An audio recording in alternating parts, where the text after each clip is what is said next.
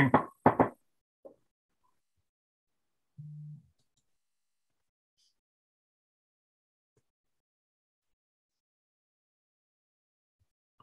As you can tell, Elias is in the office today and doesn't have the luxury of having a private office, so he has his mask on.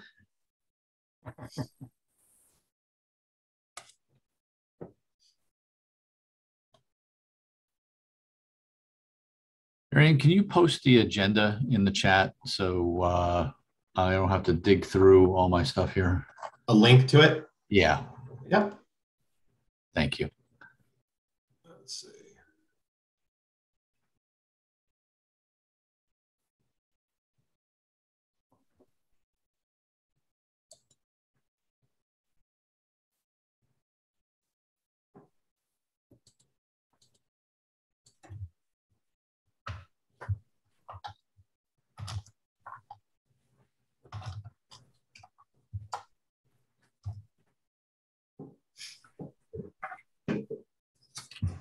There you go. Thank you, sir.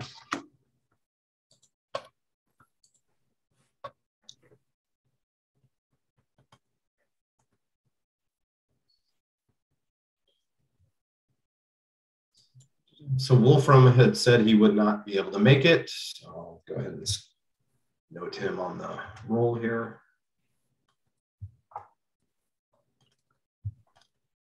Tomiko, I saw coming in, Sarah. Morning, everybody. Is it okay if I leave my camera off until you need me? Absolutely. Yep. Thank We'll you. call you when, when we get there. Beautiful. Thank you.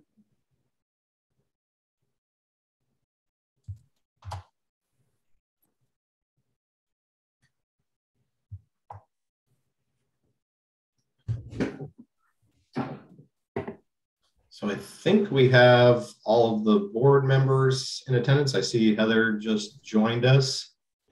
So I say we call the meeting to order at 10:02. All right, well done, sir. Uh, Meeting call to order. Uh, We are recording the meeting. I think that everybody saw that as you uh, logged in, so uh, be aware of that.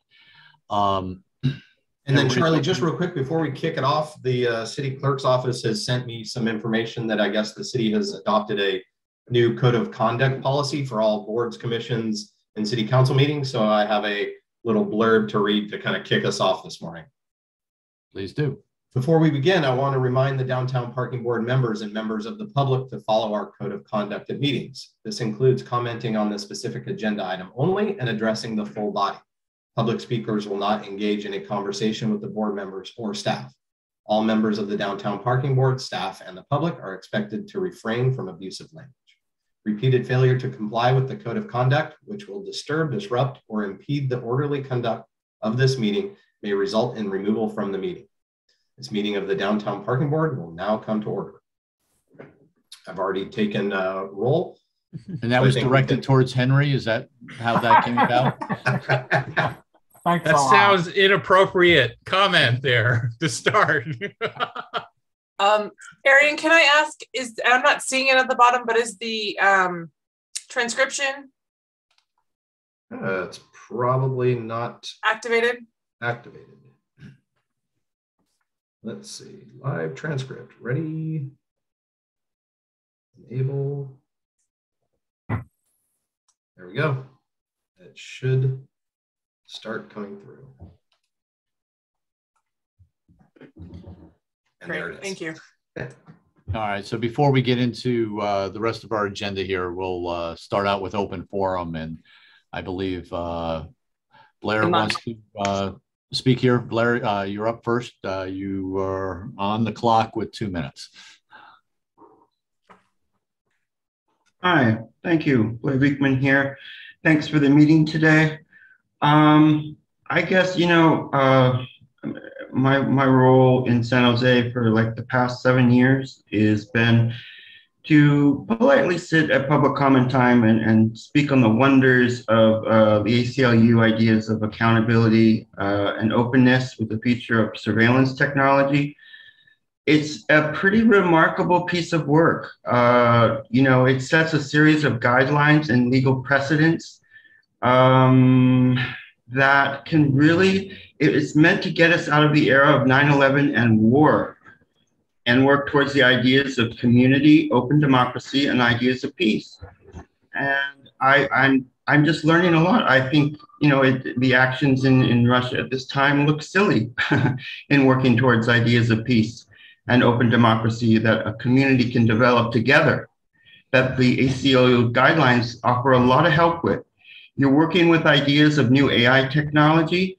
Uh, it needs good civil protection practices and, and guidance that uh, if we learn these sort of steps and practices, we won't be in that continual confusion and fog of war and era of 9-11 and, and we'll be more upright and bright and, and just make better decisions. And that's the innovation and that's the hope for the community that uh, i think can be important to downtown uh, san jose commerce groups and such and how and how you invite people to san jose in the future so good luck uh, in, in working on all these efforts the ai issues the surveillance technology issues and how open public policies can really help define our good democratic future and community. Thank you.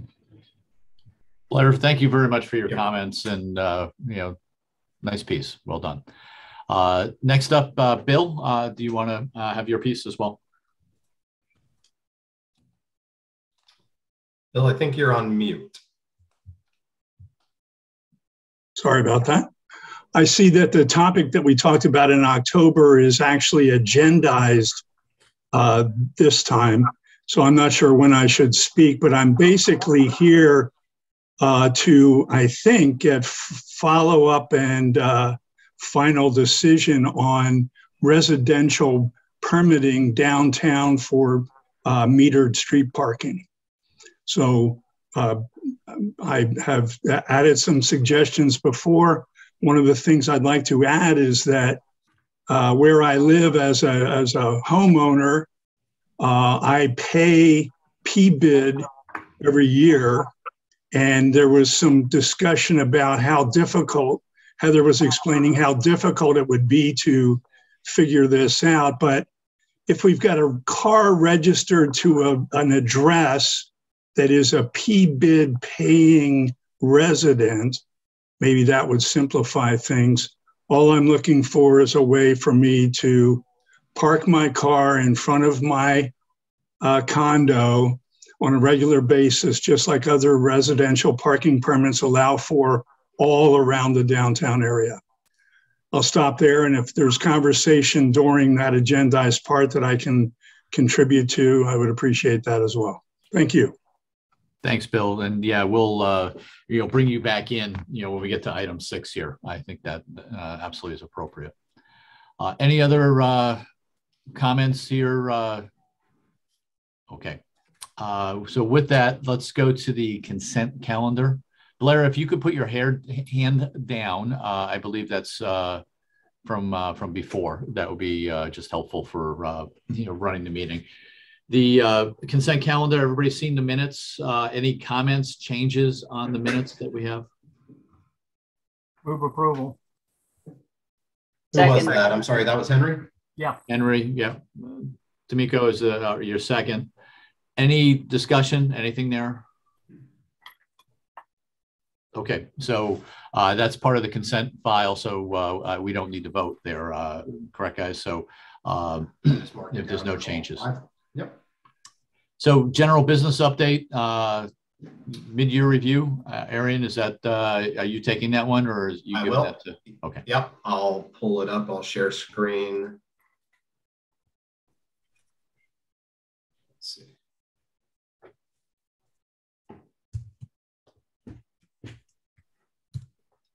Let's see. Can you see? Can you see my screen? Yes. Okay.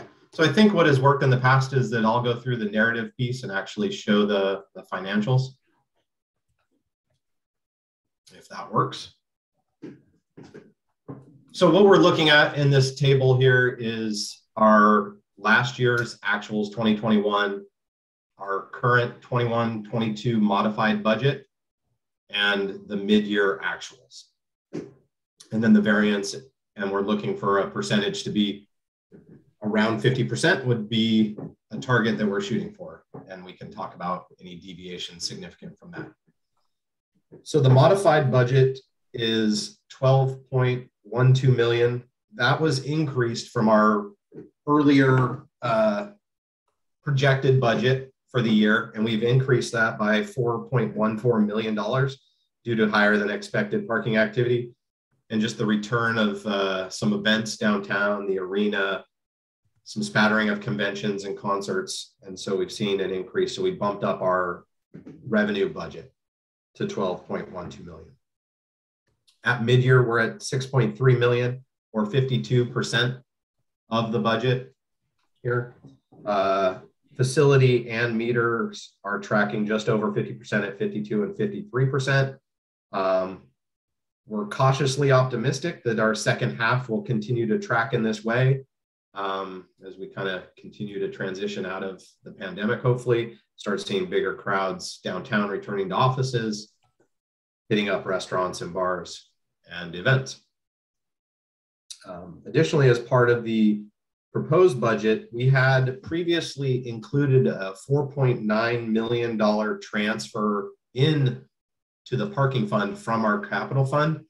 Uh, you can see last year we transferred in 5.7 million to offset the lack of revenue. Uh, this year we have now eliminated that 4.9 million dollar kind of infusion as we see the increased revenues coming in. So that's a that's a positive.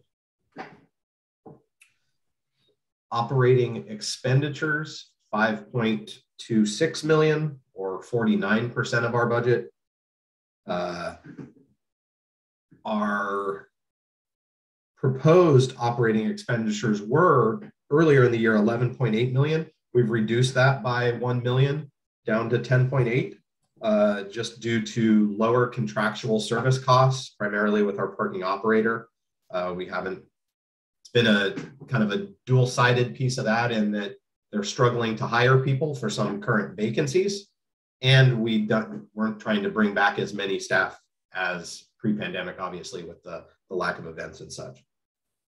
And the change kind of in our business model of having staff sitting in booths at every garage, and instead we we're transitioning to remotely managing these facilities from one call center downtown in our garages. Um, the police sec security detail, this line here, we actually did increase that though from 150,000 to 320,000 uh, to try and combat the ongoing uh, vehicle vandalisms, loitering, uh, and transient activity. Um, and so we bump that up. That facilitates overtime for police officers to work a specific beat that patrols our lots and garages downtown. Uh, the biggest decline is obviously, like I mentioned, the DOT contractual services. This is mostly coming from our parking operator um, being understaffed for some management roles and office staff. Um, and then just obviously not bringing back as many staff for events. Total transfers are at 100% of the year. That always happens early in the year, these various transfers out. Um, so that is done for the year. Our net revenue is $55,000. Um, so that's the that's the nuts of the nuts and bolts of the parking fund side. I'll go into the capital, but I wanted to pause for a second to see if there were any questions there. So, Arian, when, when did the budget get modified? And is there a document that shows the bridge and the rationale? I know you just walked us through that, but is that uh, something that uh, is shared publicly? Well, yeah, I mean, the, the modified budget is a formal city process. Timing wise, gosh, I do not know the specific timeline of when that was done. Actually, I think it's just in the probably February time. Heather, do you happen to know what the exact timeline of that was? Yes, earlier in the month or yeah, last month. I guess now we're not. Yeah, we're in earlier March, in February. Yeah. So just prior to kind of publishing all this, the the modified budget's getting kind of buttoned up on the city side. but yeah, there's, so there's the proposed budget, then the modified budget, then there's some like cleanup actions in the spring, and then they kind of close out the year. And this is how we present it to the board is we present the proposed budget, then we come back with our mid-year. And in that mid-year kind of recap, we show you what the modified budget and what changes have, have been made there. So working with the budget office, you know, the big changes that we made here were to eliminate the transfer in of 4.9 million to eliminate that and then to reduce our operating expenditures downward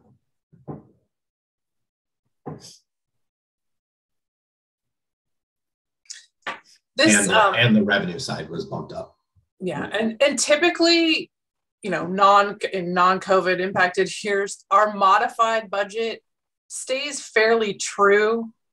Um, we don't have a lot of swings um, in that in that um, process, but because of the of COVID and our our differential and how we're estimating and not knowing how it's going to play out long term, um, this is I think one of the first years that we've seen a significant kind of change in modified.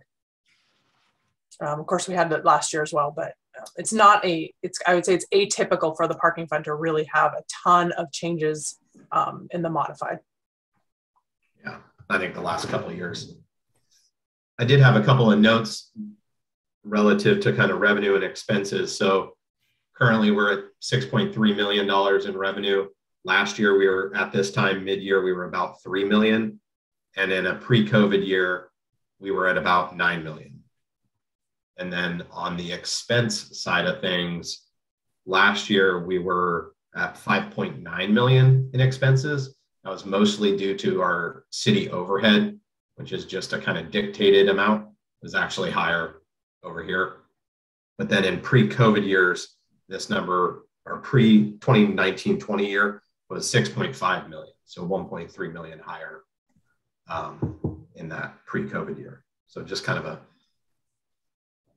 putting into perspective where we are and where we've come from and and the like. So if you scroll down on the page, um, so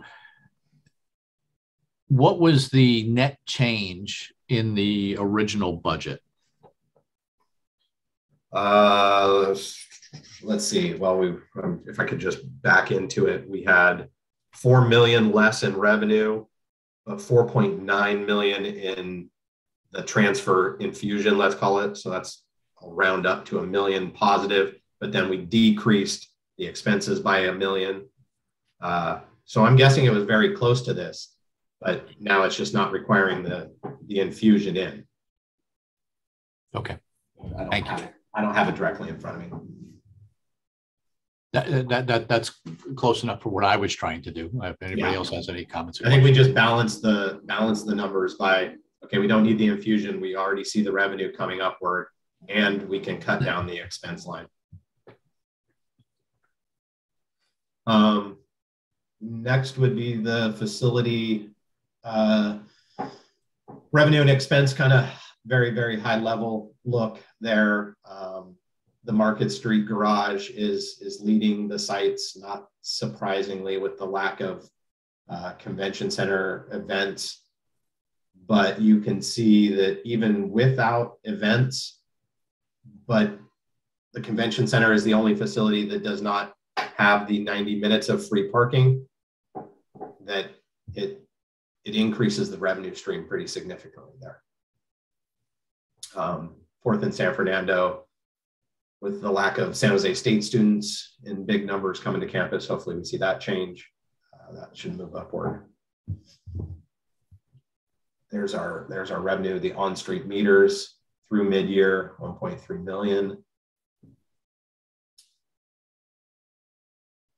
And a rough look at the, the operating income by location. Uh, I think we've talked about this before. These are a lot of allocated expenditures based on percentages that are imperfect, but it gives us a little bit of a sense of where things are. Arian, can I ask the dumbest question of all? Uh, What? sure. So the fiscal year is July 1 to June 30th. Yes. And this period mid-year is from July 1 to December December. 31st? Yes, Okay, and that's six months. correct. Okay.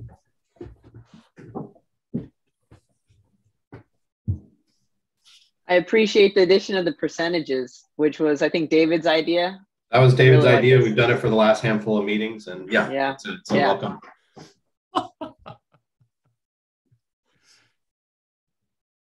Um, if there's nothing else there, this is the, the capital. Uh, let me see if I can knock that down. Is that still okay? Yep. Or prefer it a little bigger? So the modified budget for the uh, capital, $25 million. Um, the largest amount being in the uh, parking inventory line. This is for property purchases and uh, development of parking predominantly in the Diridon area. We've talked about Lot E as a site in the past, and the city's real estate department is continually uh, trying to purchase properties on that land to further the development of parking for the Diridon area and the arena. Um, the revenue control project, which has been going on for several years, we're in the tail end of that, hopefully moving towards our acceptance testing phase. But all of that money still sits in that line. And then we have the Market Street Garage facade, which is the replacement of the tile facade at the Market Street Garage.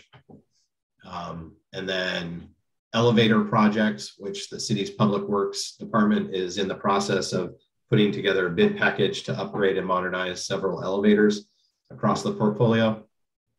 Um, but you can see actual expenditures against that $25 million is only 430,000.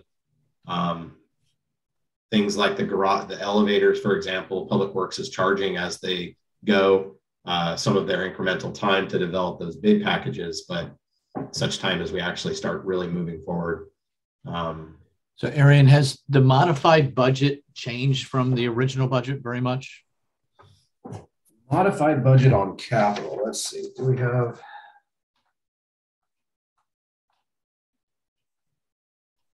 Let me see if I've got the proposed in front of me. If I can pull it out of one of these. Uh,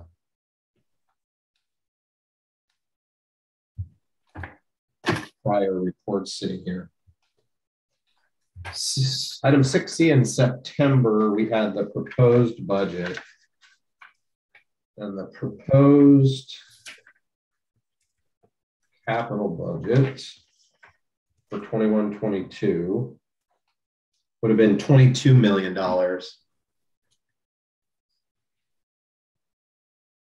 With uh,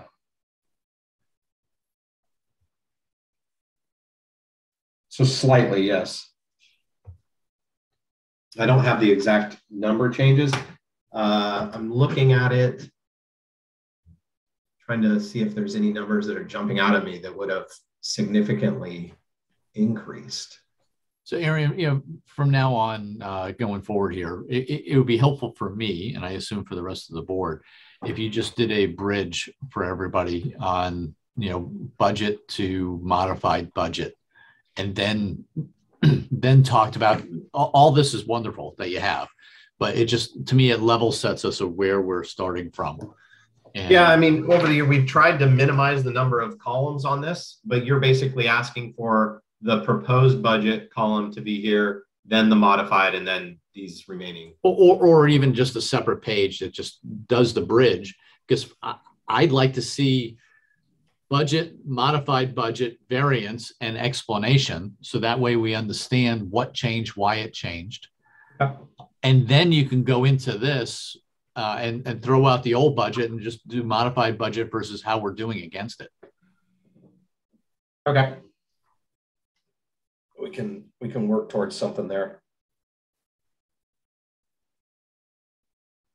my, my fear again public meeting and everything is just things get changed or potentially things get changed from a budget to a modified budget and that's when things get slipped in or sneaked in or slipped in or you know uh, stuff happens and people wouldn't have noticed as much and so I, I, just think we want to disclose that. Just I, am not accusing anyone of doing anything inappropriate here, uh, but yeah, and in the in the operating budget, yeah, in the operating budget, we called out all the significant adds or deletions, uh, like the transfers, the increased revenue, and the reduction in operating. Um, I can I can work to towards better illustrating those similar type of impacts on the capital side. Appreciate that. Thank you.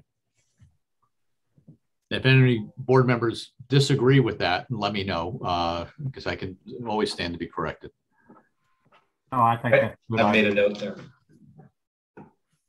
Um, but just to recap, the the expenditures are are low. We've been due to staffing challenges on our own side. My lead engineer on our team is is vacant. He's moved on to a different uh, division within DOT. So moving any of these projects, as well as just delays in other projects like the facade uh, project. The city had uh, been working towards a new um, contract for surveillance cameras, which would include upgrading all the cameras in our garages. Um, I guess they did not get great responses back, and so they're tightening up that RFP and likely going back out. They had anticipated that we'd have a contract awarded before the end of this year. It doesn't look like that's going to happen now. Um, the parking inventory is land acquisition, presumably can take quite a bit of time in any development. So we'll continue to see these numbers. Um, like even this, income, we've encumbered lots of monies in the uh, revenue control that project will be done at the end of this fiscal year and then hopefully starts to drop off. The others are likely to continue on for some time and we'll be carrying those monies over to subsequent years in the event they don't aren't completed in this fiscal year. Holly, could I have a question?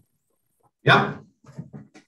Um, and it's really uh, to to Arian, but you know, like these major expenditures we have, but are not expending them for facade improvements and garage elevator upgrades. I know Public Works is busy. Why wouldn't we consider outsourcing these items? I don't, I don't have, we don't have the luxury of outsourcing them. They're, they're Public Works projects and under their purview. Well, would Public Works outsource? Well, I mean, ultimately, much of what Public Works ultimately does, I mean, it isn't, they aren't going to physically fix these elevators. They're going to develop the, the scope of work, the engineering, bid them out. And in many cases, even that work then is subbed out to consultants. So it's a it's a yes and a no, but Public Works is the lead. I don't mean to throw them under the bus and that they are delaying these projects. I don't think that's necessarily the case. It's just these projects take time to develop the scopes. We've put money on the table through our budget process.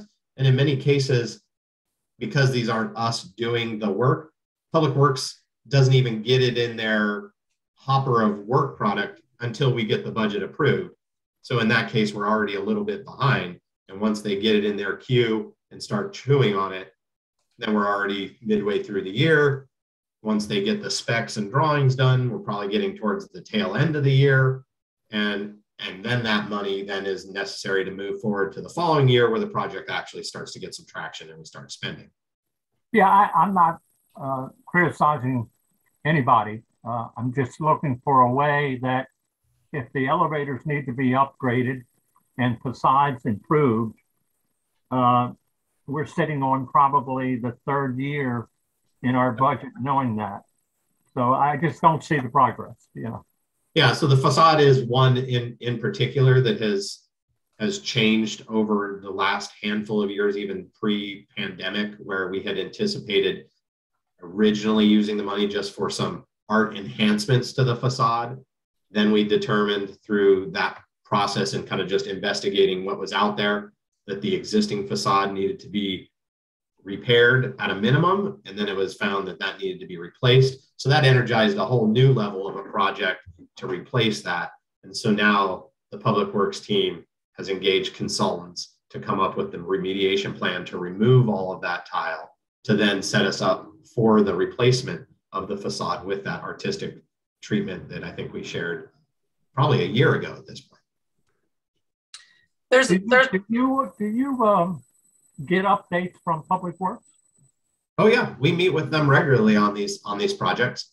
Okay. Yep. We just did a site walk on the facade with both the consultant and the engineering consultant that's doing the demo package to actually take off the existing tile and the consultant, the engineer for the art installation. So that just happened probably three weeks ago um, to, to move that forward. And then Public Works is in the in process of the design phase of the elevator repair project, and that's citywide. So this is a big project for them that includes elevators and all properties. Thank you. So that's a good point, Arian, is on a lot of these or some of these projects, we're not the only player in the game. For example, the elevators, that project is tied into all the elevators in the city. So there's a main contract for all the elevators and all the buildings that is overseen by Public Works. It's the same thing with the security improvements, the cameras that we were talking about, security cameras. The city is going out for an entire RFP on all the security cameras. So the ones at the airport, the ones in our garages, the ones in, um, you know, treatment plant, water treatment plant facilities, all the cameras together. So sometimes these projects are were part of a a whole, and so we have even kind of less control over the timelines in our um, have to have to abide by the, the greater whole, which can delay us.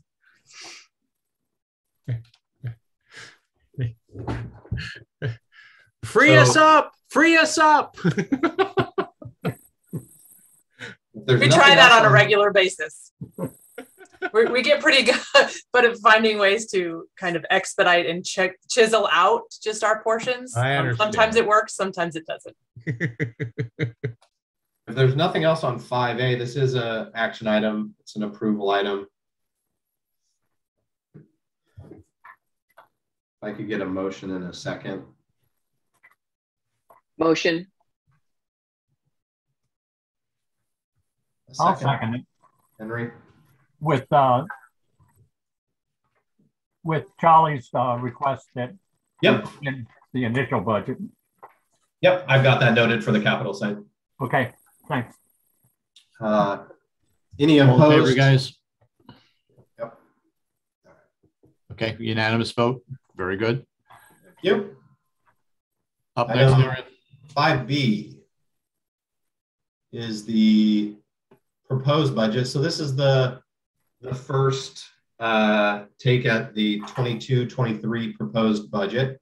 Uh, we will bring it back for final approval, but this is the prelim uh, in our June meeting. Yeah, see, this is the part, Arian, that, that bothers me or concerns me, right? Is Sure. we're asked as a board to approve a budget, but we're not asked to approve a modified budget. Uh, I, guess that's really where I was going with my questions is all of a sudden a modified budget's given to this board Yeah. um, that we had no say in, no, and I'm not saying anything's wrong, but it's just it, the, the process to me is odd.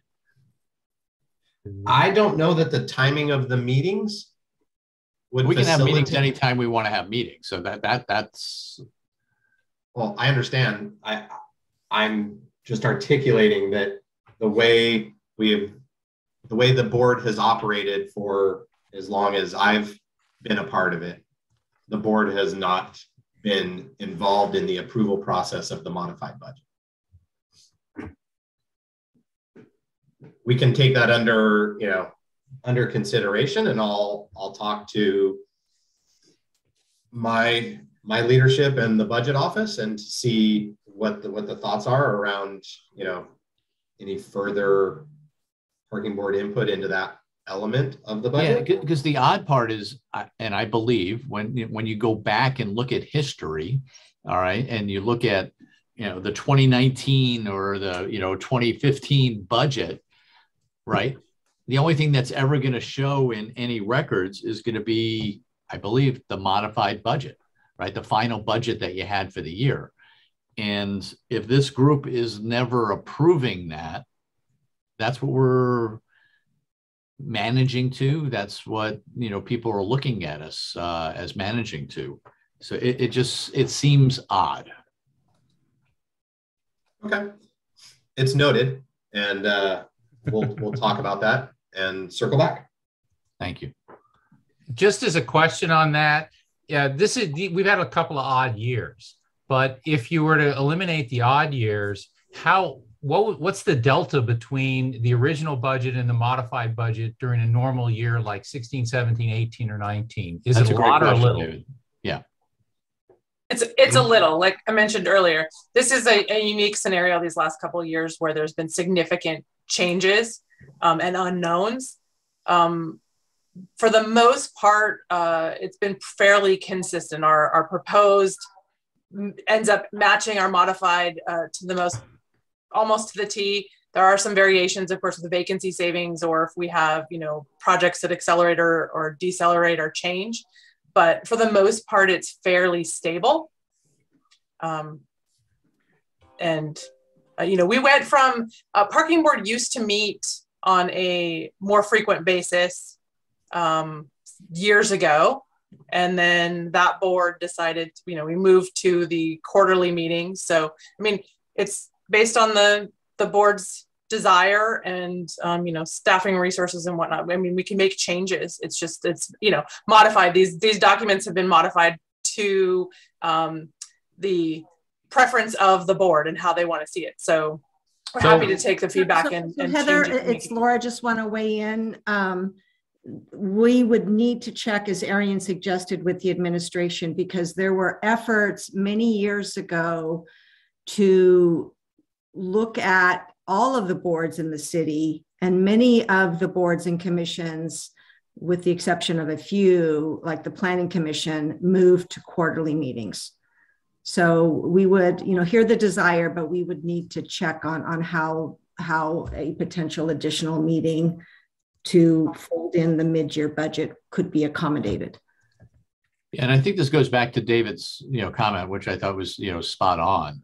You know, if if this is a COVID anomaly, then okay, you know, we adjust and we figure that stuff out. And and if, if the norm is to, you know, not change things around very much, then, you know, I, maybe we don't have any issue here at all. Um, I, what I've been taking exception to here, uh, you know, during the meeting is just the charts were presented and it was you know kind of like okay here's the modified budget. There was no bridge. Uh, uh, arian provided it verbally which was wonderful but you know it, to me the record needs to show what changed from this to that. And and, and that just needs to be out there in in a public way. That's all So, so basically, uh, Charlie, I think what you're asking is, would you have another column with the original budget? Or alternatively, if you had a little tiny column that said what the percentage change is across the big items like total revenue? uh, or, or just like what i suggest just a separate chart you know that's a standalone Yeah. that because and if every year it becomes it's it's a non-factor because it's a two percent change as laura you know i think it was laura that said then then so be it you know that, that that's not a big deal but it's completely transparent on what we approved versus what we're measuring ourselves against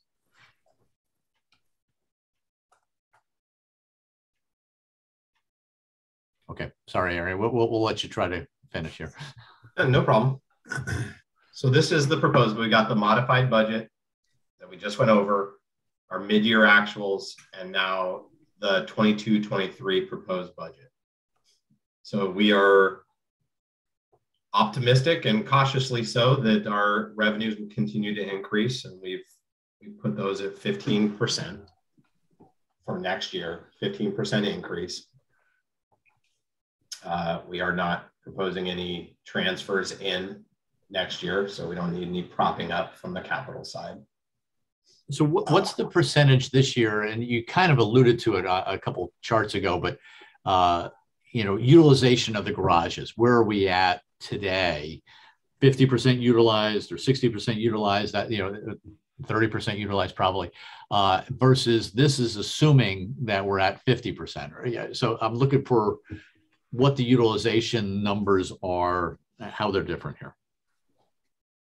So this is not necessarily based on a, a percentage of utilization as much as it's uh, forecasting increases in, I guess it's it, six of one, half dozen another. Increased revenue would translate to increased occupancy, but it isn't based on a occupancy percentage. Well, it has to be. You're not increasing price, so it has to be utilization. That's the only other. Yeah, yeah, yeah, yeah. And we have looked at that, and we are anticipating the return of our monthly parkers, not in mass, not in 100%.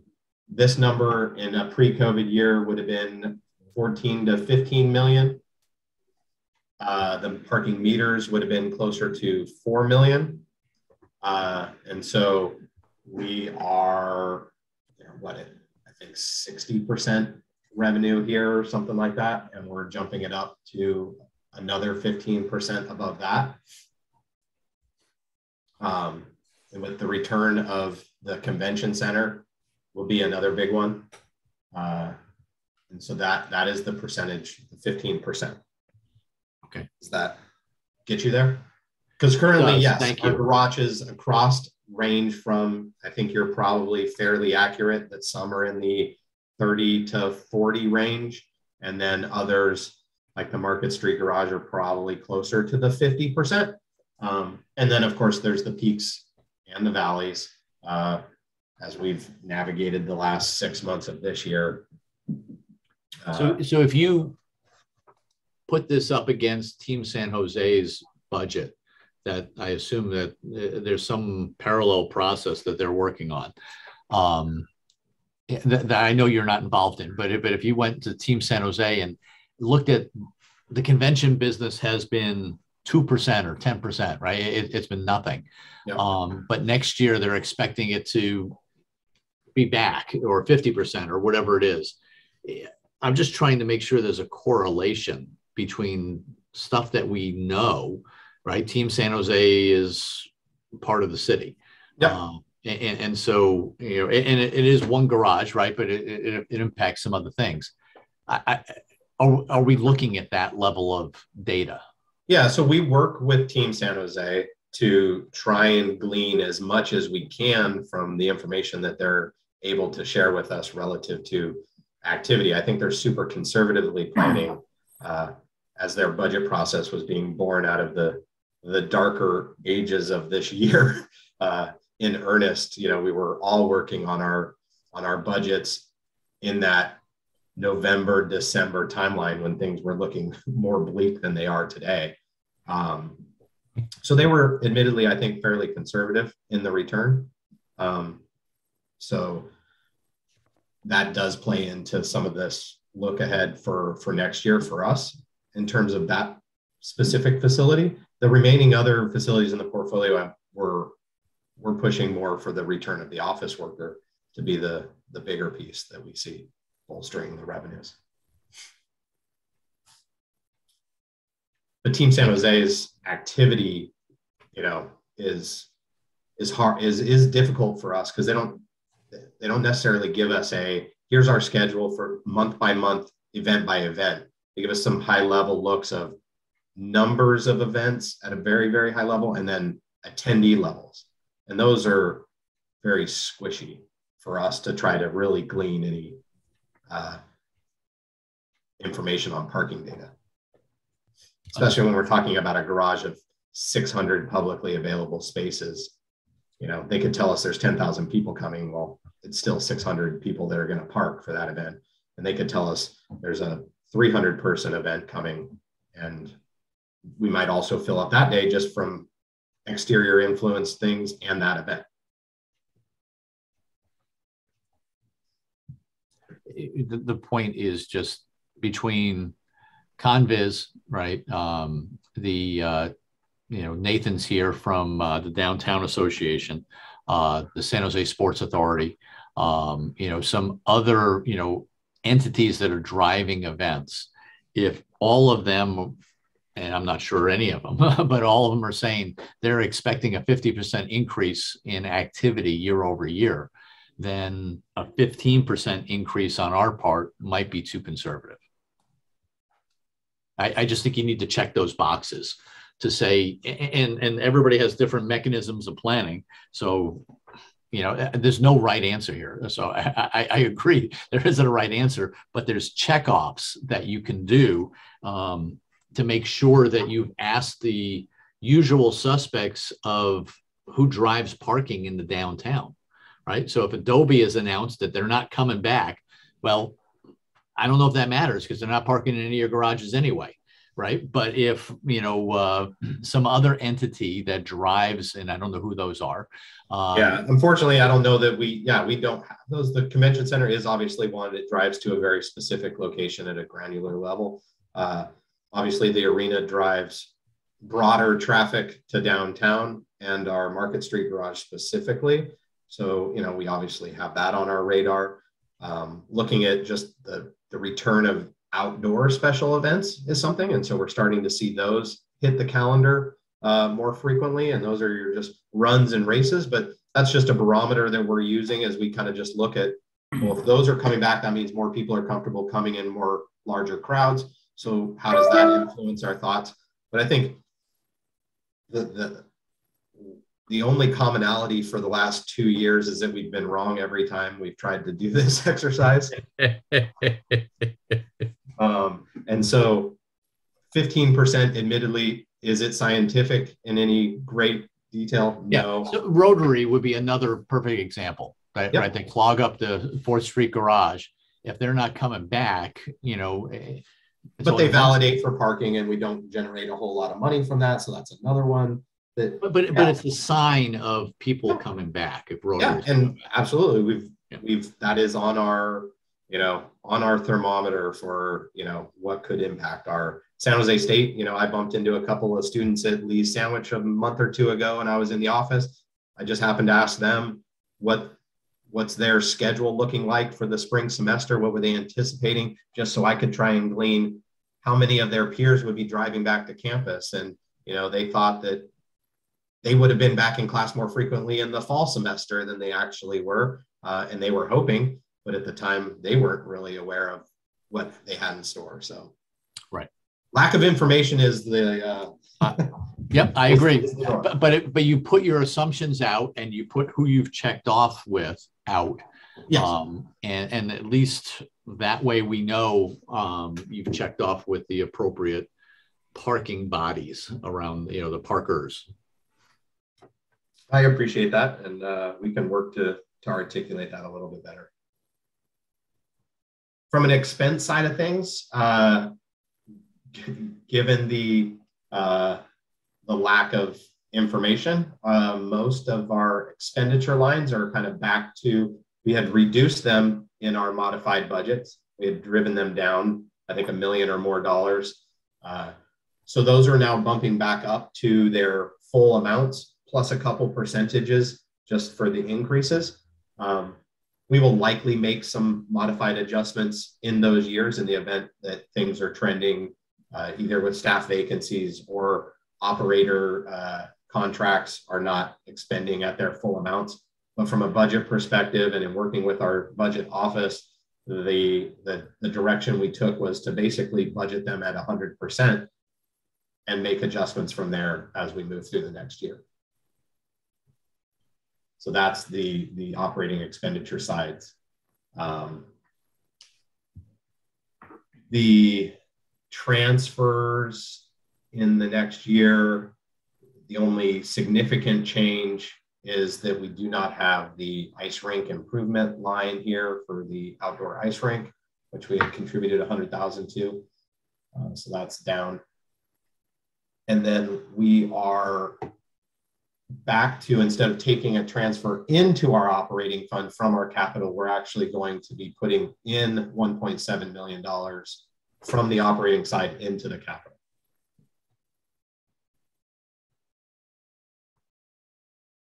Arian, Yeah. why isn't the ice rink in this budget? It's not an annual thing. It's not, this was a, a repair request from the downtown association on the, the ice rink. It was, it was a one-time funding necessary to, I guess, do some repairs to the ice rink to make it ready. So it, it wasn't a, an ongoing expenditure. Well, I'd like Nathan to look into that because I still think you need to make the improvements every year. That was a mayor's budget direction. So those usually come through um, the mayor's budget process. Yeah, I know he doesn't skate. So Arian, I'm sorry, uh, a lot of questions for me today. Apologize. Okay. No, Um, so the revenues are going up 15%, right? And we're Mhm. talking about, you know, however, whatever reasons that are, uh, that that's going to go up. It's, you know, additional parkers or those type of things. Yep. But the expenses are going up 20 plus percent. Right? I guess only off of the reduced amount that we've reduced them by, yes. So we've reduced them in this year due to the factors that we talked about earlier from the operator side. But we are now bringing them back to their kind of pre lowered funded levels. From a budget perspective, the direction was don't reduce them prematurely, budget them at this at your kind of full full amount if you will. And then we can reduce them in the mid-year if that is the direction that the the fund is looking at. But why And would we do that with the revenue as well? why would we do that with the revenue? Budget them lower and then increase them? Why wouldn't everything be at 15% growth or 23% growth, right? Versus having that 8% difference. uh, i don't know that i can argue with the the rationality you're bringing to the table a lot of this is coming from the budget office and the direction to, to me, and, and I do budgeting for a living, right? But Yep. your assumptions need to be consistent. And, and it seems like we have, we're going to slow play the revenue, but we're going to allow more expenses.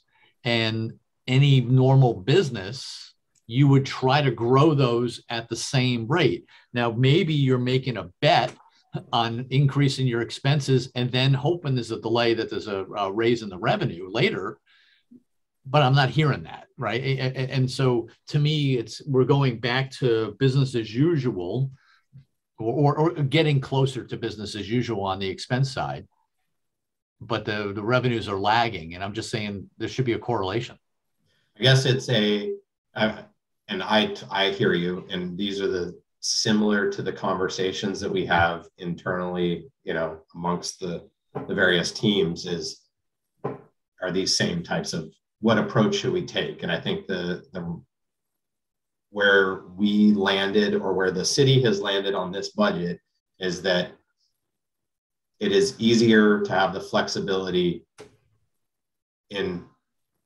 reducing costs throughout the year with the money at hand versus the opposite. And I, I understand that if it were my own my own household budget, that's not how how it works. And that's how we should be managing things how we do, do do things on our own because that that's kind of the in, in my world the bellwether you know of uh, The other thing is the, the specific to contractual, the largest line item in this whole thing is our DOT contractual and the non-personal line, the 7.7 million there. Most of that is contract based. So my operator, my parking operator, I'll round it, probably has roughly $4 million a year in the contract. And that's what's the budget is based on. What is each contract's value and what is it that you have? And then as we go through the year, that's been adjusted.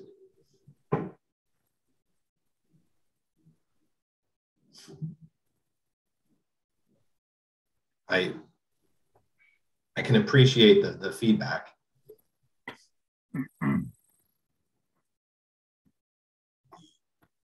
the direction that the city, you know, and I'll, I'll say it at a higher level because I think it's bigger than just this one fund, is that the expense side of things for our fund in particular, as it relates to these, was to establish the, the contract basis in most of these cases for this, this line item in particular.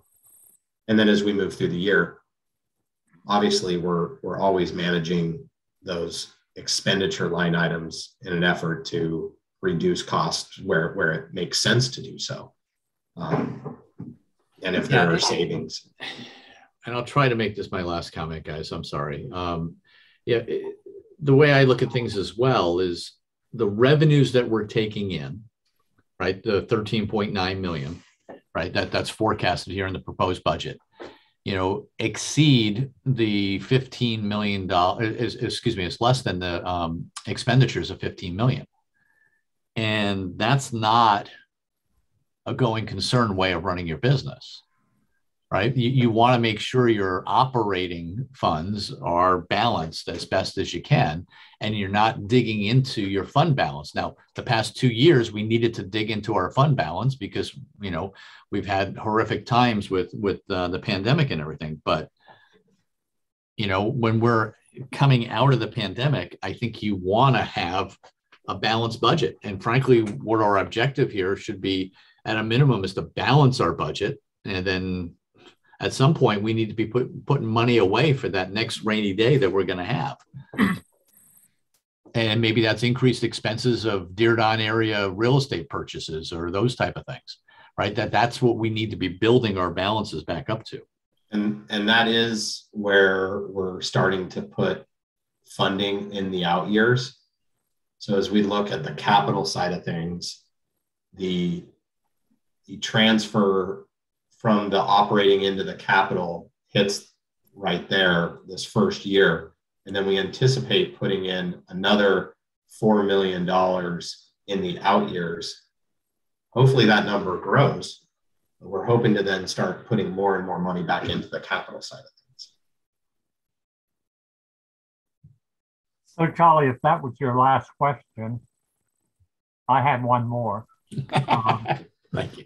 where do we go from here if we don't have another um, op- opportunity to change this proposed budget? If we don't, Uh, if we don't do it today because it's going to go into the mayor's, um, the city budget for the next fiscal year, right?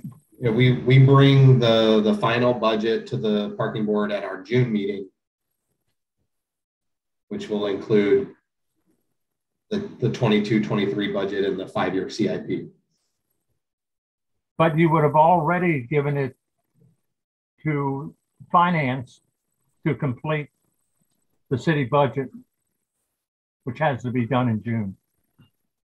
So it has to be prepared well before then. Yeah, I, uh, Laura or Heather, from a timing perspective, feedback at the June. Uh, The, the city manager's budget, proposed budget comes out early May. I think it's May 1, if not close to that. And then after that, there are a series of council budget study sessions. And the mayor's budget, proposed June budget message comes out probably for discussion early June. Um, so, um, you know, unless there is a significant issue that needs to be addressed within the city manager's proposed budget, um, it- it's rare that that changes are made at that point in time. And again, unless there is something very significant that has happened. There's always reconciliation of of expenditures that have happened through through the spring. Um, that is that is adjusted, but um, typically not major pr- proposal changes. Yeah, so uh, at, at the end of the day, uh, this is our last uh, shot at, at uh, next year's budget. Uh, yes. Yeah. And, and maybe just to, to expand on, um, you know, what Arian is, was sharing, um, you know, on the expense side, um, it is. I need to call you back. It, you know, reducing the expenses to match the revenues. I mean, it's not necessarily a one to one.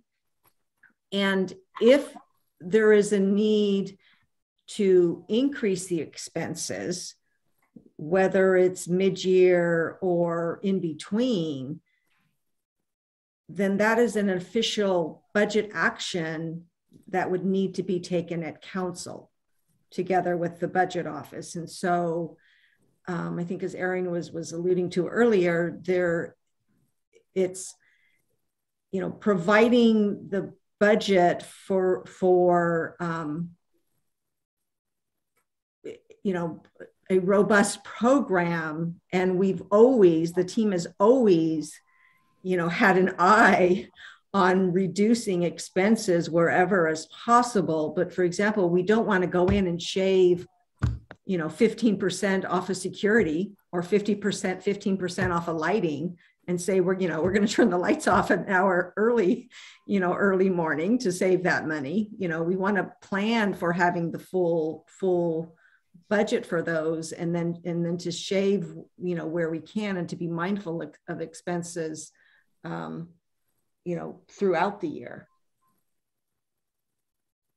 uh, my my final comment is you know i'm not sure we look like we're doing the best job by having a $1.2 million reduction, uh, which typically we haven't had. Okay, Charlie, that's my last comment. Oh, Henry, that could have been my comment. So, uh, you know, we're, we're, we're saying the same thing here. Yeah. Um, so, you know, that that's two of us. And I, I saw some other nodding heads here. Um, you know, you guys, uh, city uh, staff here, are looking for us to approve this budget. Um, I don't know how we approve this budget the way it is. All right. I don't know how I vote for it. You know, to me, I would vote for a balanced budget. I would vote for maybe an imbalanced budget if the assumptions were aligned with revenue and expenses uh, because we're still coming out of the COVID uh, period, uh, you know, in this, you know, coming year. We don't know any better. But like Henry just said, I don't know how we can put forward a uh, unbalanced budget going forward, you know, uh, knowing that those things are out of whack. Well, why don't so we do this? We can, we can, we, we can, can make, a motion a proposal, and but... you, we can get a motion to approve and if it doesn't pass, it's noted. Well, okay. Uh, let me ask the board here. Is there anyone that motions to approve this budget?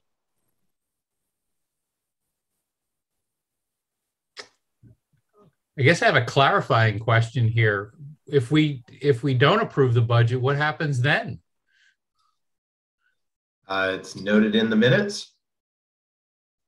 And I guess we would take it back internally and see if there's anything uh, between conversations with the uh, director's office and DOT and the city's budget office and any edits that they may want to make. And so we're making none, a statement if we don't approve it. Charlie, would you like to propose a motion other than approval then for us to consider? Or do we want to vote down approval first? Well, no one's a motion to approve the budget. All right. so, you know, that, that it, has gone unmoved. So I, you know, you can't second it, you can't approve or disapprove.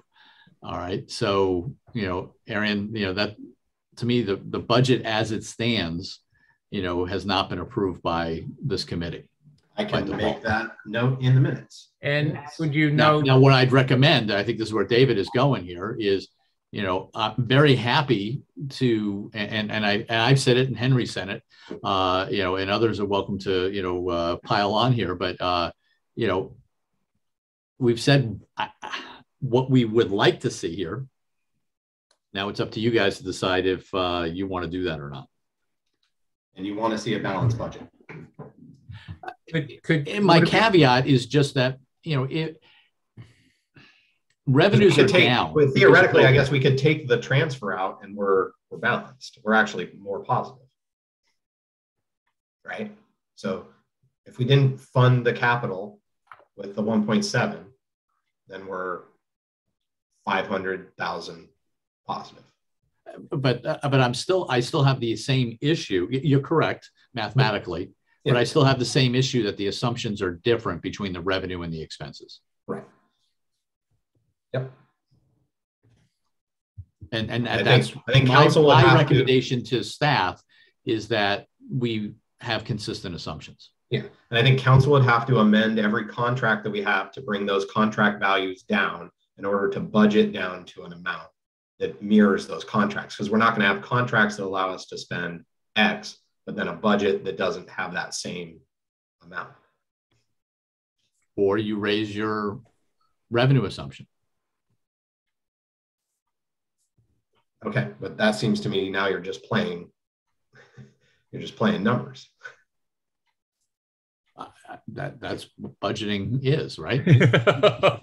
Well, I, okay, so if we came back and said we were going to raise revenues by 30%, and here's the. But my questions uh, uh, are, still stands. Did you go back and check certain things? You know, are you aligned with, you know, the four or five or six major entities that are bringing events in? And if you say you are and they're at 30%, then that's the right number to put in here. Or it's it's a better assumption than Yeah, being I guess I, I feel like we're being more transparent about how we're doing this by telling you, you know, we're we're cautious in our revenue streams. We're budgeting based on the full value of our contracts and at the full amount. And if there's savings, which we are going to manage against and towards, absolutely, that's the goal. But we have the flexibility to spend the monies that have been approved to spend versus eh, we're going to make 30% more money just so we show something on the books. If we don't make it, we'll come back and tell you that we didn't. But I don't know. That seems a little more disingenuous than the approach that we've taken. I have a point, comment. I I, have a comment um, really in support of sort of the reasonability of the budget. So it's not entirely uncommon or unheard of in a time of rising costs that we would have expenses rising and revenues decreasing, right? Like Arian's right. Like these are contracts that are made for years. And so it's not uncommon that a contract cost would be increasing when some of our top line assumptions are decreasing, right? we know that fewer people have been going downtown. I'm operating under an assumption that Arian and the team are um, vetting all the inputs for assumptions that they're making for the top line. I guess my question or concern that I would have, Arian, um, and for the city is just the transfer and how we're coming up with the dollars that we're allocating to the capital budget.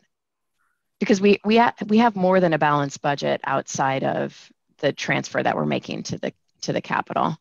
And it would it be reasonable to reduce that and maybe plan for a larger increase of a transfer to the capital funds in future years when our revenue assumptions are a little bit better?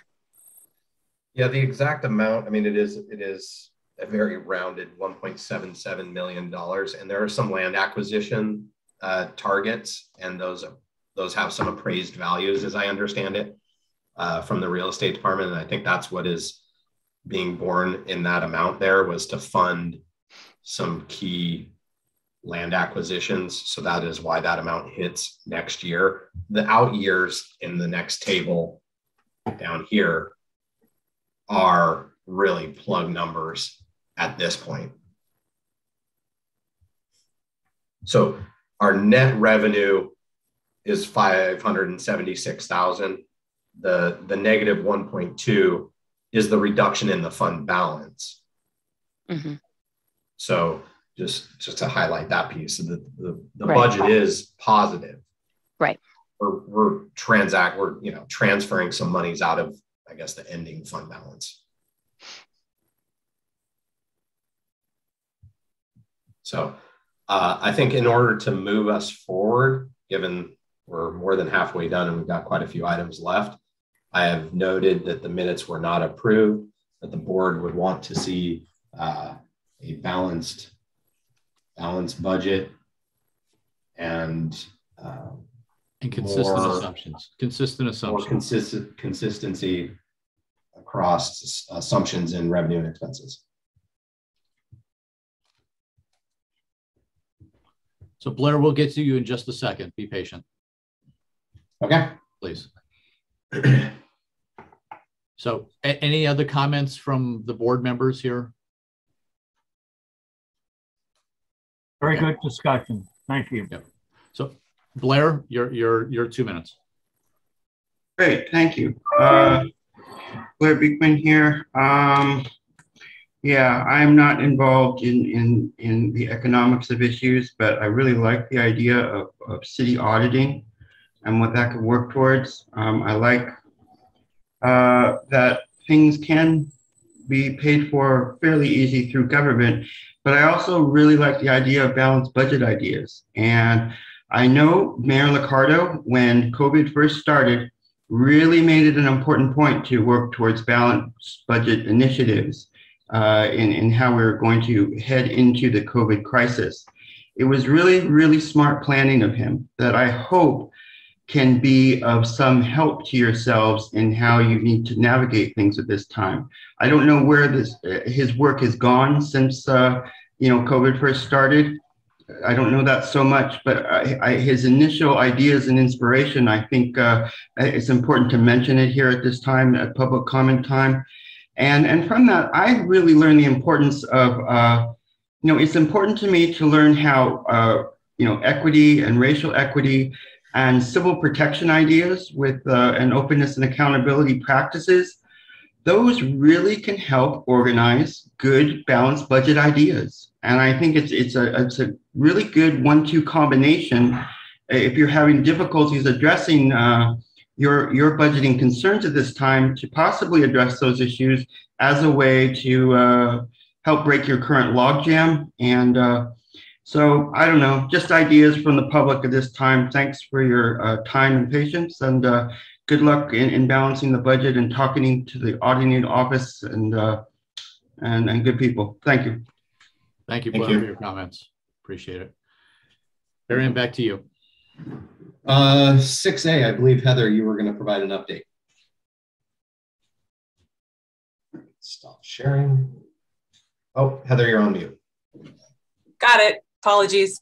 Um, so for this item, we're just going to provide a very brief recap and status update as um, staff continues to work on putting together an updated draft uh, meter reserve structure for the board's consideration. Uh, you may recall that during the September meeting, um, staff provided a report and a presentation on the history and the structure of the existing meter reserves. And then during our last meeting in November, um, we provided a report and a presentation on the potential options um, for consideration for the reserve changes. Um, also at that November meeting, the board provided direction to staff um, requesting that the focus for our further um, work was placed on continuing to evaluate the options and um, opportunities relative to individual or micrometer reserves. So we've we've started that process. Um, the micro reserves would establish separate reserves for each individual um, kind of meter district in their set boundaries. Uh, we're currently researching the practices used by other city, uh, California cities that have meter reserves. Um, and we've had preliminary conversations with the budget office uh, regarding these micro reserves uh, and the concept. Uh, in order to fully vet the details of the micro reserves, further discussions will need to occur with the budget office as well as the city attorney's office and city administration. So once that is completed, uh, staff will um, anticipates coming back to provide a potential recommendation for the board's consideration. Um, as we previously mentioned, um, uh, due to the financial status of the parking operating fund and the capital fund, um, estimate where a city's estimating that potential funds um, for funding reserves in the future um, will probably not be available until after the next fiscal year. So there's still a lot of time to um, work on this um, reserve um, uh, structure and um, move through with um, any kind of council approvals and whatnot that we have to get for it. So um, stay tuned and we will come back to you with a formal um, kind of proposal in the near future for your consideration. Thanks, Heather. Mm -hmm. 6B. Downtown residential parking. Elias, were you going to present present that? Yeah, so this is basically an informational memo um, uh, to uh, put in writing what has been uh, discussed uh, last meeting. It outlines the availability of residential parking in downtown through our four garages, where there is an, uh, a residential parking program. And it also uh, gives you an idea about the number of public uh, parking meters available in those areas and the restrictions around them. They're basically available after 6 p.m., uh, between 6 p.m. and 9 a.m. And uh, in some uh, entertainment zones, there is uh, some restrictions on overnight parking. But uh, I don't know if anyone has any question about it.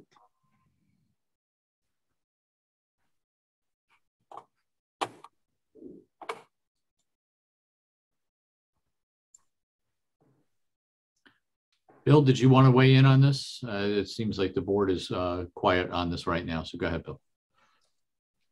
Yeah, uh, I'll start out by saying I really don't understand what Elias just described. Um, so maybe in in uh, uh, layman's terms for citizens who are impacted by it, what does this mean? What does it change? I think and yeah, I think we articulating the the various options in the downtown core that the city currently has available to downtown residents would include parking in our city facilities. And on-street meters. No, but, but, but the, I'm, I'm, I'm, sorry, I'm talking about uh, on-street parking.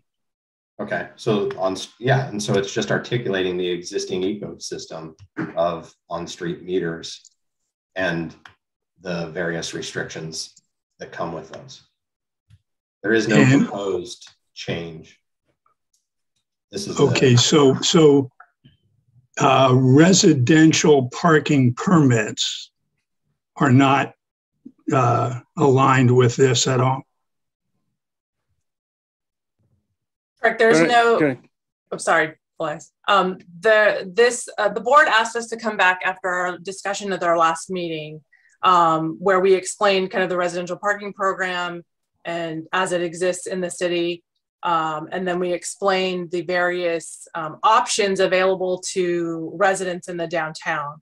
Um, the board asked us to come back and memorialize that residential um, parking option piece, which is what Elias has done in this informational memo. It just outlines these are options that residents in the downtown have to um, accommodate parking um, in these various facilities and, and the options available to them through the city and, and outside of city um, lots, garages, and on-street parking.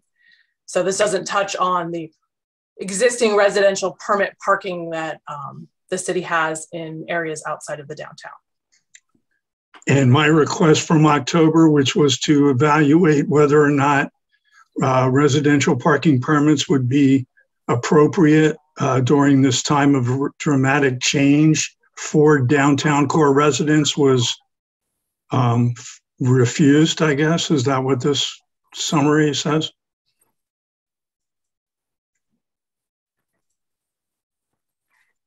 Having trouble with my mute button. Um, that was not the direction that we received from the board. So um, we did what the board asked us to do, which was come back with this informational memo. Um, and at that meeting, we kind of explained the limitations and what the RPP program currently exists of. Heather, um, maybe I can provide some some context. Um, and, and Bill, you probably don't know me, Laura Wells, Assistant Director for the Department of Transportation. Um, the city has, um, I believe, 22 permit zones, residential permit zones throughout the city in various locations um, that are intended and structured to address um, neighborhoods that have excessive parking demands, either from intrusion or local excessive parking demands. Can I can I just can I just add right there, Laura, just to be very clear where I'm coming from?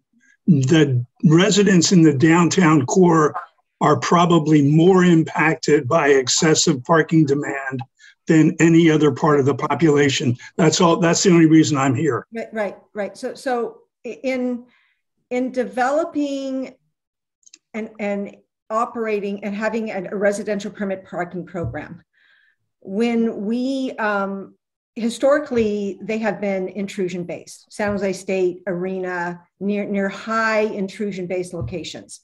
About five years ago, we were um, asked by council to look at a program where there is excessive demand from from from the residents internally within within a, neighborhood and in developing that alternate um, program what we became aware of is an attorney general opinion california attorney general opinion um, in 20 i believe it was 2016 or 17 that says you know cities can have res- implement residential permit parking, but we can't distinguish based upon the type of dwelling it is, or we can't say this these categories of residents can get permits, but these ca- other categories can't. Um, and any, you know, so if we were to look at having a program in the downtown at meter districts where residents could have a permit, it would apply to all of the residents. And then we would also, all the other areas where we have meter districts, we would have, we can't have a program in one meter district and then say, oh, well, but this meter district isn't eligible. So if we're now going to have a program in the downtown for downtown residents, all downtown residents would be eligible to get permits to park on street. And that would be counter to the intent of the on street parking, which is to provide turnover for visitors coming to visit various businesses downtown. If I may, the strategy, the stated strategy of the Department of Transportation in San Jose is to reduce parking availability in downtown for uh, ecological reasons and uh, uh, traffic uh, uh, reduction. So that is counter to uh, having a, a, meter strategy where you want a lot of people turning over in car traffic all the time. So I'm just pointing out that that is those two things are mutually exclusive. The second thing is um, I don't understand why I walk around the streets of San Francisco and every single metered area has an exception for uh, permit B, permit A, permit C. And that's because those are such high demand parking areas and they are protecting their residents. I don't know how else to ask for the ability to park my car on my street during a Sharks game, a concert, uh, other activities going on all around the city. Uh, so I just I just don't understand the logic in that. And if you're telling me no, then I guess that's it. But I got to tell you, the people that live in the dense area in the downtown core are the ones that are embracing the long-term um, uh, uh, transit centric urban village concept. And it feels like we're being penalized for that uh, because we don't have the ability to have people come and park near us for dinner or stay overnight as guests or park our second vehicle, which uh, we don't have a space for in the reduced parking residential areas. I don't know how else to say it. It just doesn't seem fair. Charlie pointed out it's a, you know, my personal responsibility for choosing to have a second car. I get all of that, but it still just seems to me like there'd be a simple way to do it. I'm, I pay PBID. I'm a registered homeowner. My vehicle is registered to that PBID paying address. There certainly could be a way to have a limited method of providing that sort of parking permit. That's all I'm suggesting. I mean, I'm, I'm, a, I'm a, I'm the type of person you want living downtown. And I don't think you want to make it suck to live downtown, to be honest, but you kind of are. And if, if that's what it is, that's what it is, then I just deal with it and uh, maybe start looking for a different city. Hey, Bill, it's Henry. What, um, so on the city side, they would expect the loss of revenue. How can we make up the difference? Uh, uh would homeowners like yourself be willing to pay for that on street parking? I put in a comment when uh, Arian and Charlie were having their robust dialogue, and that is that the overarching strategy is to reduce incoming traffic to the city. Therefore, by doing it by reducing uh, parking availability. One way to reduce parking availability is to turn it back to the people that actually live there, need to park their car to unpack their groceries, all of that kind of stuff. By the way, remember, new residences are not going to be required to have any parking. So if the if the people that are following the the uh, the vision of dense living downtown are going to be the one that bear the brunt of parking because uh, we want to make money from the people that only come into downtown for Sharks games. That doesn't sound like a a uh, a fair way to treat tax-paying San Jose residents, in my opinion. I don't know if that answers your question, Henry.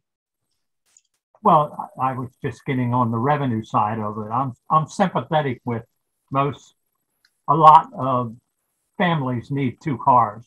Yes, and by the way, on the revenue side, just look at those numbers. Most of the expense for this uh, for this budget goes into paying for managing the parking.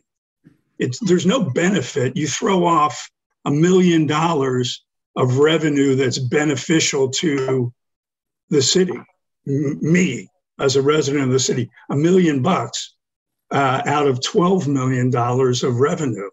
So, quite frankly, I'm not sure that it's worth it. Talk to small businesses who are struggling to have people come into their shops um, and people don't come downtown because it costs too much to park.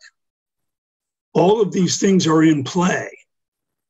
Long term, we, we want to reduce car traffic. Long term, we want this to be a people centric location. People that live downtown are not the ones that are driving up and down the street looking for a parking spot. We're the ones that park our car and we're here all day.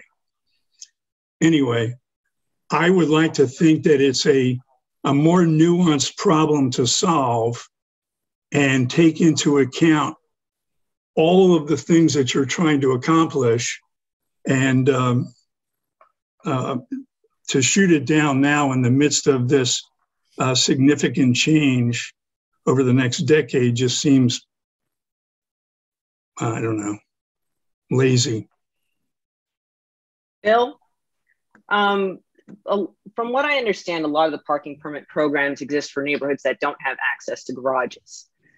They've outlined that you have an access to garages. You happen to own an oversized vehicle that doesn't fit in the garages. That's like having an RV in downtown. Wait, whoa, whoa, whoa, whoa, whoa. I'm stop, so sorry. Stop, stop. Tomico, if you're going to talk about the height of my vehicle, I, don't want to talk about that. talk about talk about me having my little smart car and I get home from work at 6 p.m. on a Sharks night.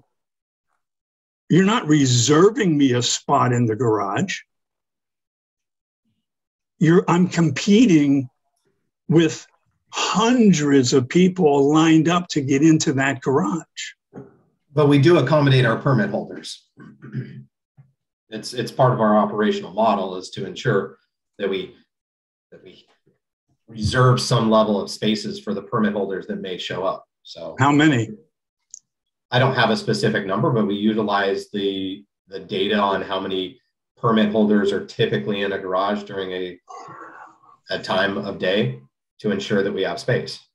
If you're a frequent user of any of our garages, I can't remember many times within the last nearly 20 years I've been around downtown that we've put out a lot full and would not accommodate a permit holder. Now we've re- restricted access in some very limited times to visiting parkers that may try to pull a ticket, but that's even infrequent. The the Market Street garage is full on a Sharks game. It just is. It, it may have been full to those that wanted to buy a ticket for that three hour period of time. But to the owner of a restaurant that wanted to come to work that night that had a monthly permit, we would accommodate them. Okay.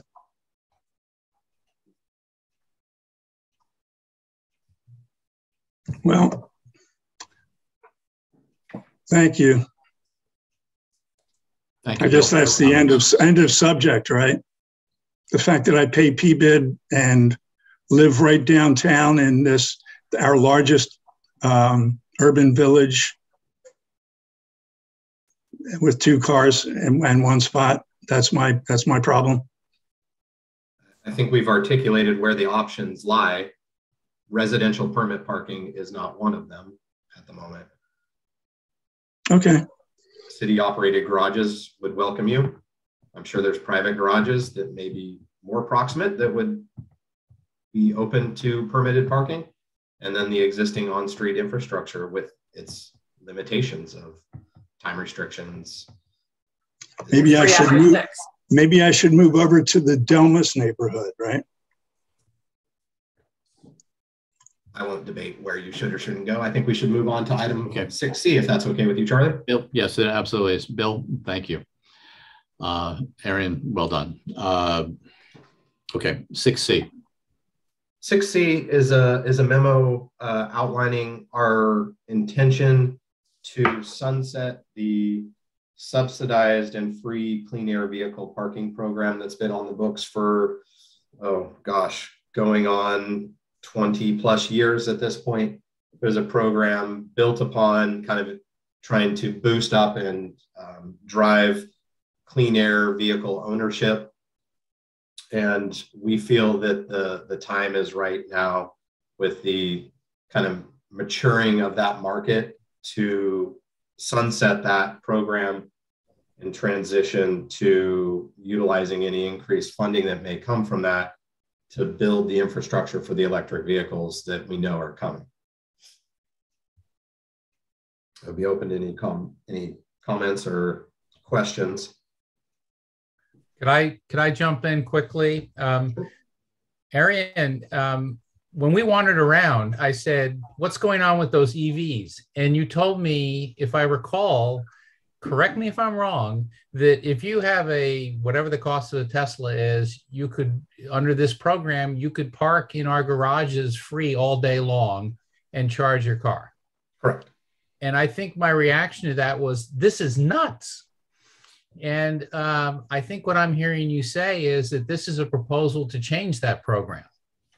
It's a, basically a proposal to eliminate that program. So if you owned a Tesla, you would be required to buy a monthly permit if you were so inclined to work downtown. Or you get your 90 minutes free and then you'd pay. Correct. And then my last question is, uh, how long can a, one of the e- how con- how long can you leave your car at one of the how is it managed the the putting of a car to a a space? In an electric vehicle space, Yes, sir.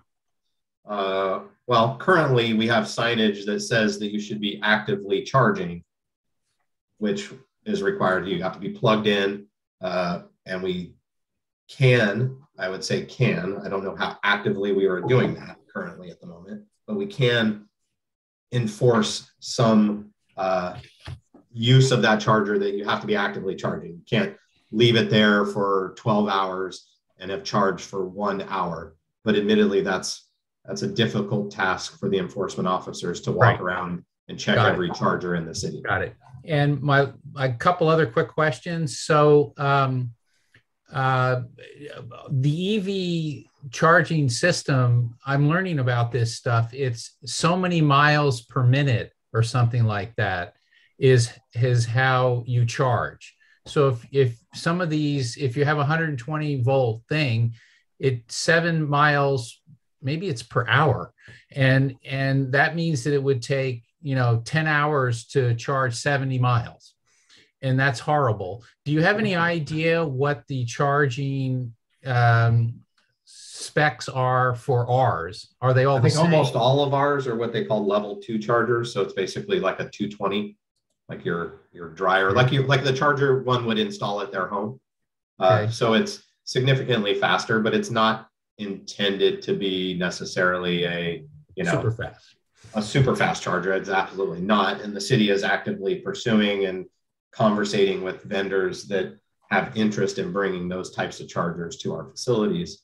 Um, a, they're they are expensive, and there's a lot of electrical infrastructure that goes into those. But uh, the city's goal is obviously to bring that kind of infrastructure, Right. Couple not just other, to downtown, but all over. Yeah. couple of do do we buy these from a vendor and own them? The chargers themselves. Yes, sir. Yes, so the city buys the chargers. Uh, ChargePoint is the city's vendor currently, so the customer users then sign up for their own account through that and pay the associated fees. The city sets the the charging fees per kilowatt hour, or whatever it is, um, on a cost recovery basis only. So every year they go back and say, how much did we spend in electricity, R and M of the units themselves, and any contractual costs for the ChargePoint chargers, and then sets that for the charging rate. So ChargePoint is our our uh, vendor basically. Correct. And um, do we pay the cost of the capital cost to put them in? Yes. And then ChargePoint is like the it's sort of like SP parking then in a way. And and they are our vendor, and then they manage the process of people paying and the like. Mhm. Yep. And then we make no money off of this. Correct. Is anything in this proposal talk about trying to make some money off of this? Uh, it would be the elimination of the free parking. So this doesn't really touch on the actual vehicle charging in and of itself. This speaks more to because right now, if you had a qualified vehicle and you had one of the permits, there's nothing that says you have to go park in one of those electric vehicle charging spaces. You can go park anywhere in any one of our facilities or at any meter in the downtown and park for free. So this, this has nothing to do with actually charging your vehicle and only a, a goal that the city had to spur the the adoption Early adoption. the the vehicles. I understand why you did it. Um, so, so we have a con, is it an annual contract with ChargePoint to do this? Uh, no, I don't know how long our contract is. I don't manage that contract directly myself, and I Oh. think maybe you're we're kind of there's two branches Yeah, there's two of parts the, of the puzzle. Yeah. Well, uh, I, I got lots of more questions. You, you told me, and I don't have it in front of me, how many EV spaces we have. It's only in our like 60 or something. It's it's more than that. I want to say it's actually I think it's in the memo. Uh. I didn't see it. Uh, I swore I put that in there. Did I not? 104 charging stations in city lots. There you go. Um, so I have no other questions. I'll defer to others, but I'm willing to move to do this right away because I think this is a fabulous idea. So maybe I'm alone. Was that a I have a motion? little, I have a little fun fact since we looks like we have some time. So when I first came into the parking program back in 2001, I was responsible for proposing that we have the program. to and at that time it was it was um, free parking for primarily hybrids but also EVs. Um, it was really fun when we um, canceled the program for basic level hybrids when I got a letter from myself saying I could no longer park um, using the clean air permit. Um, this makes sense to eliminate it. The whole purpose for why we established the program 20 years ago was to incentivize the, the buying of the technology. Uh, it's, it's not needed right now.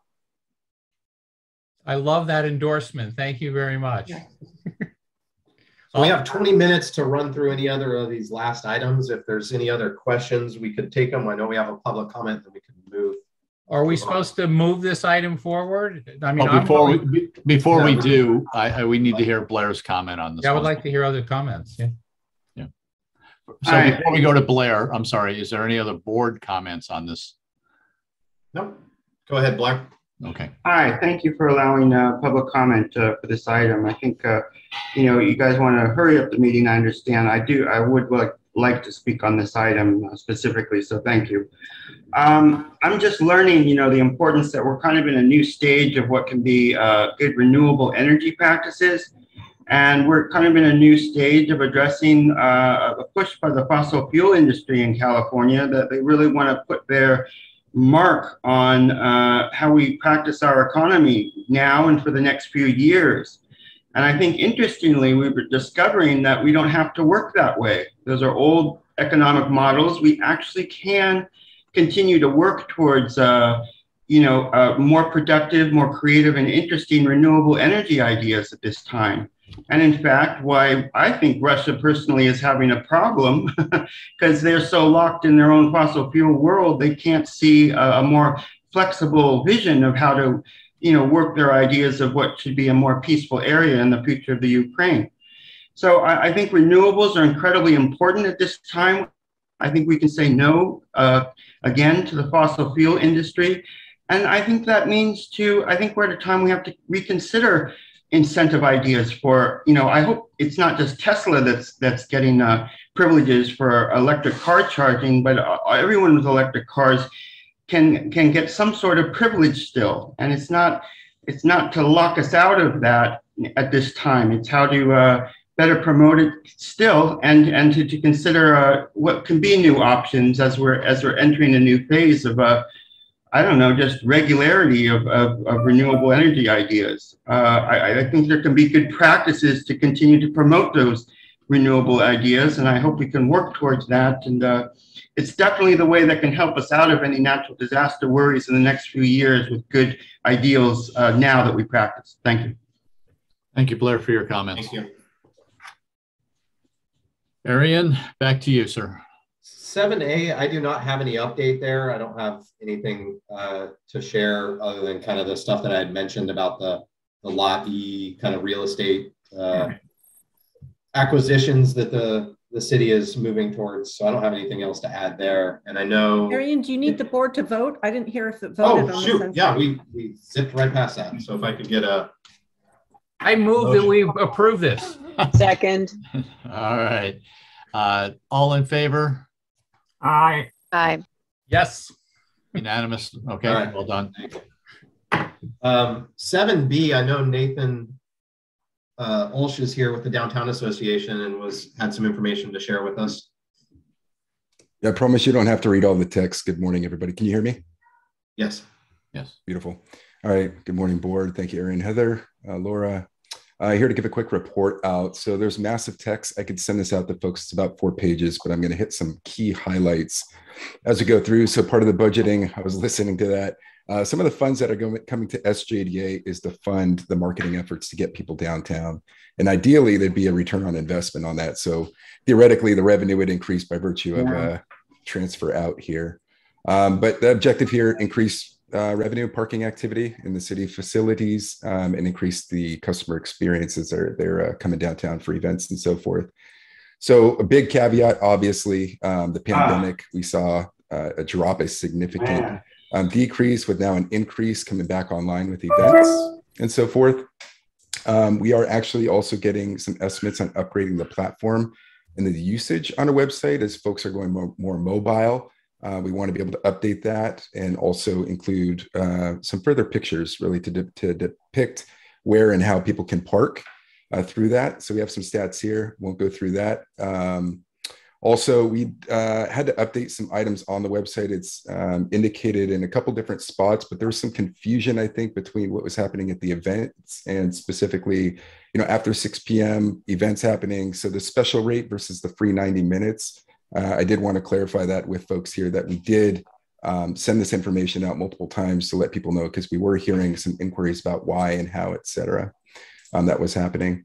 Um, kept folks abreast of what was happening and where to park for uh, special events and street closures and so forth. Uh, and Nathan, just important. real quick on on yeah. that on those inquiries about the kind of the disconnect between a special event charge and not being able to benefit from the 90 minutes free is, is no different than when we had the validation program for for decades that the validation was also not accepted so customers coming in expecting to just pull a ticket and go to dinner and get a validation uh, oh. were also not uh, kind of benefiting from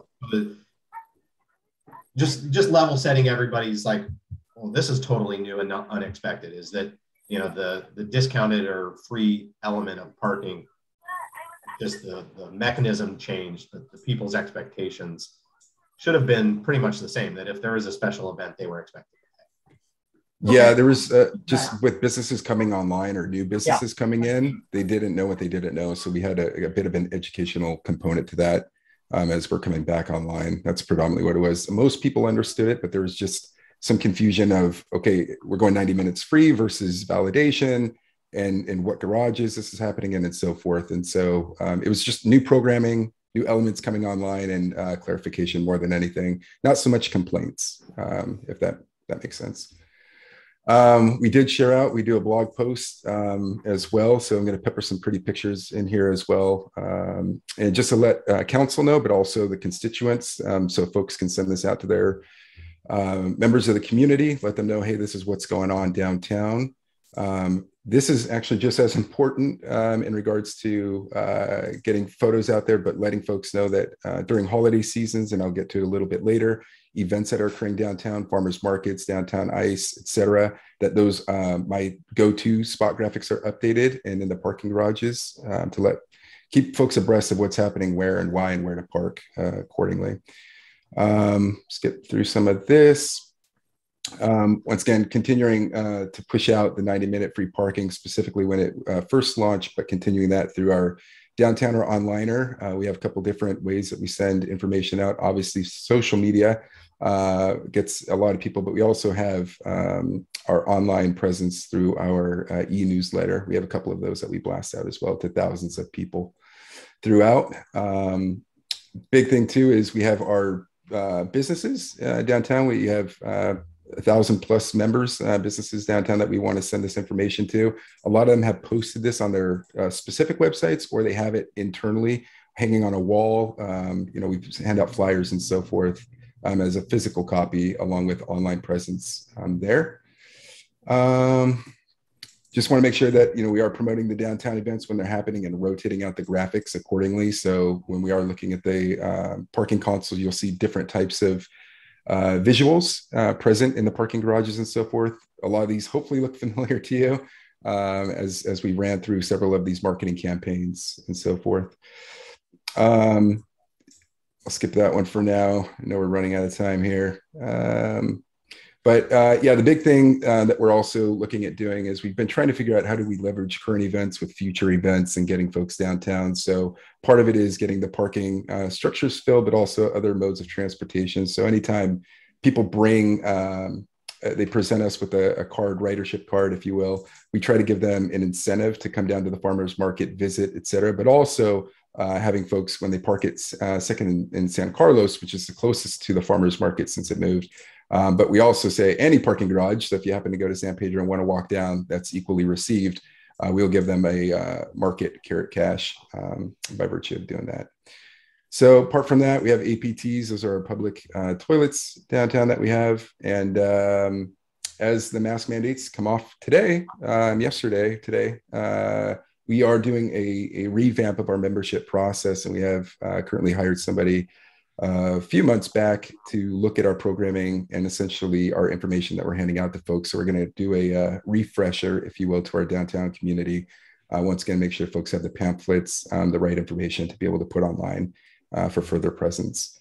Uh, and then we talk about this also through our advocacy efforts, um, letting folks know in local media interviews. We make little plugs, specifically when we're talking about farmers market, dine downtown, um, and so forth to say, hey, remember, you can park downtown for free 90 minutes um, at any of the uh, city parking garages and so forth. So I'll pause there. I can send this out. Um, here to answer any questions y'all might have. Thank you, Nathan. Any uh, comments, questions on Nathan's uh, talk?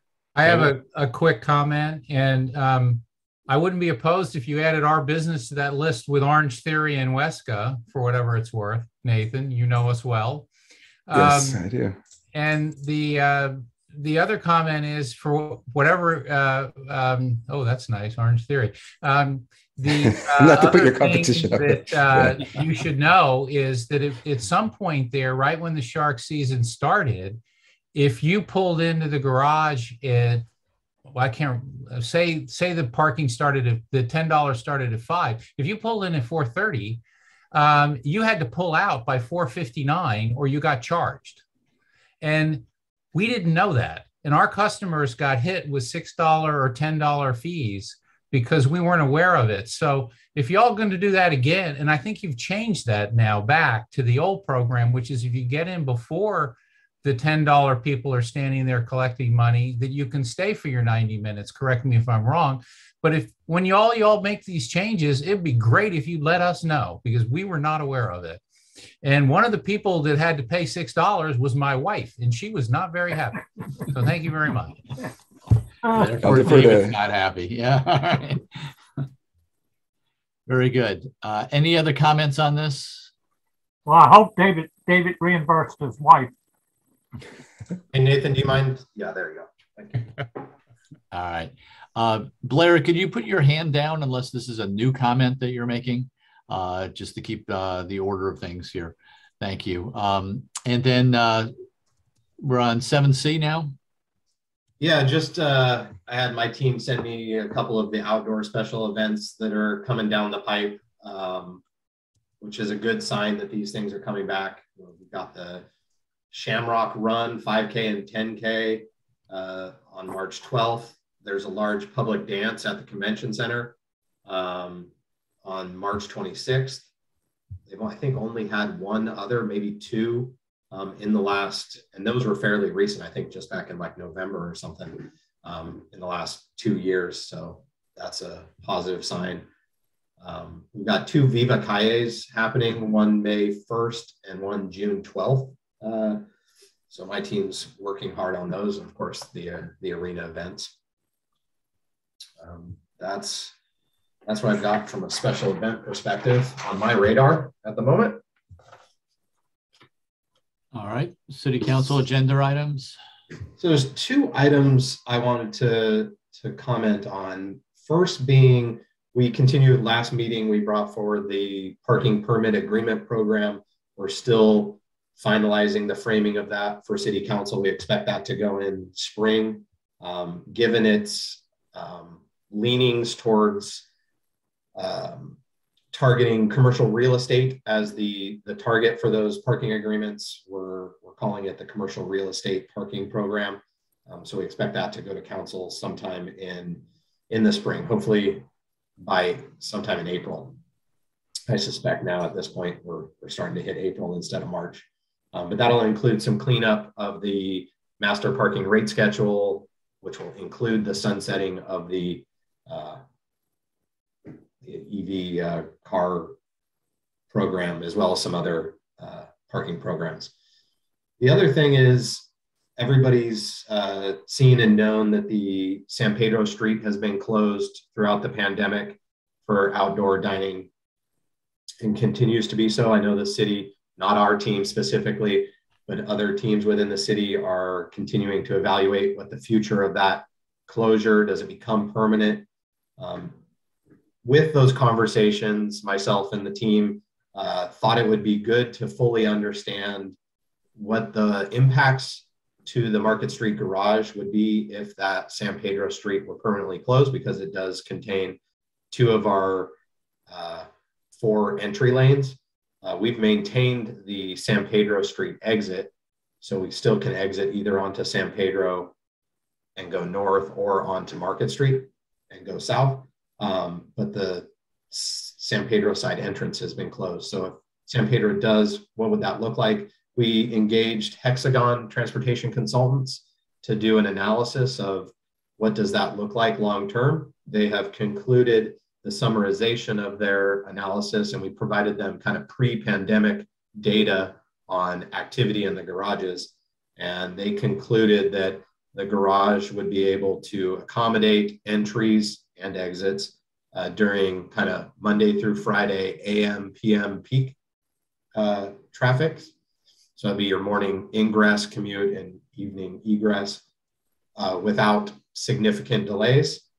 Uh, but they did note, and not surprisingly, that during event prepay, so that kind of evening Sharks game, that we would have some some backup. We've had backup throughout the years, even when we had four lanes. It would just be slightly longer delays um, when we're only using San Pedro. We see those today um, even with some of the lower attended events. But we'd expect that to continue ongoing, and we'd have to work through some operational improvements to try and mitigate that to the extent possible. We would expect there to be some delays in entering uh, if San Pedro were to be closed permanently. So we expect that that would be kind of all encompassing in the analysis if the city does bring forward some recommendation long term to maintain San Pedro as a closed street. And that's all I've got on the, the horizon. All right. Uh, any other comments on the board uh, for the meeting here today? I, would just like to go back to the Market Street garage. Arian, when did you think? I know the Downtown Association is very interested in seeing uh, the change uh, closed. Uh, do you have an idea from anybody when uh, a decision may be made? I, I do not. I know the attorneys are evaluating with, I think, the Office of Economic Development what what needs to transpire to close a public street. Evidently, it's not as easy as just saying we're going to close it. There's there's quite a, a process, but I am I am not I'm peripherally involved as a stakeholder, if you will, operating the garage, but not directly involved in the the, the push of that. Understood. Thanks. Yeah, Henry, I could chime in a little bit. Um, we are working with the stakeholders there, the property owners and the business owners. We're trying to get a consensus on if it if it will go through. To Arian's point, there is some legalese that needs to be discovered in terms of can you close a public right of way indefinitely, et cetera. And so there are um, some some uh, research that needs to be done on that front. But yeah, um, and then likewise, we want to make sure you know you all saw Post Street reopen recently as well um, because of um, some feedback that we heard from the from the community. So same thing applies to San Pedro um, as well. But I did have a quick. Um, I do want to uh, make a plug for the defense of our 100,000. Um, not that I need to, I, I hope not, but um, as well, uh, the ice rink, I believe it was uh, asked what the uh, request was for the 100K and uh, for the repairs. Um, we are going to be making some updates to the ice rink uh, next year, um, hopefully as well. And so the rink design, uh, but the improvements, fixing the, the entryway for folks to get through, install new ramps, security railing, pedestrian gates, and relocation of restrooms. And so we want to make it more uh, enticing, I will say, for visitors visitors to park and walk down to the area and have an actual entryway. Um, this year is a little funky uh, for a couple different reasons, but that's going to be where the improvements are going to be focused on. Right. Thank you, Nathan. Blair, bring us home, buddy. All right, last last comment. Thanks for that. Thank you.